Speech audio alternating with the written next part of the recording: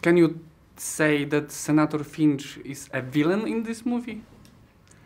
Oh, I would say she's like the the opposite of the villain. I, I, think you know that I have an opportunity to explore villainy um, in the in the guise of Lex Luthor, who always kind of sits opposite me, and in most of the scenes that I have in the movie. Yeah. And uh, when I see you and uh, Jesse Eisenberg as Lex Luthor, I, I was thinking, oh my god, there, th this is not a blockbuster with special effects, and an independent movie uh, with great acting.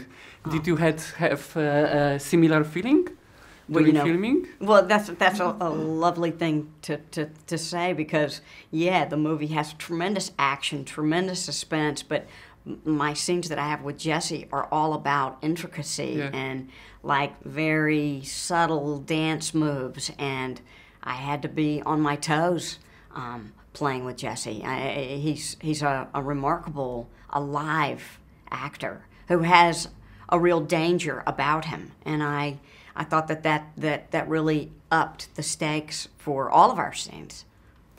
Do you think that um, thanks to uh, strong women in Batman v Superman, like you, uh, Lois Lane, and uh, Wonder Woman, there will be more uh, strong women in action movies?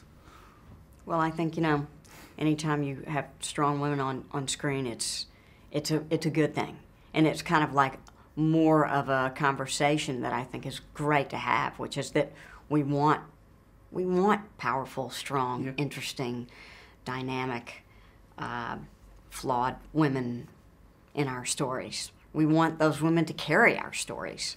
Um, we want them to be, you know, i- you know, supporting whatever. I, I, I think that you know Zack Snyder is very unafraid of the strong female.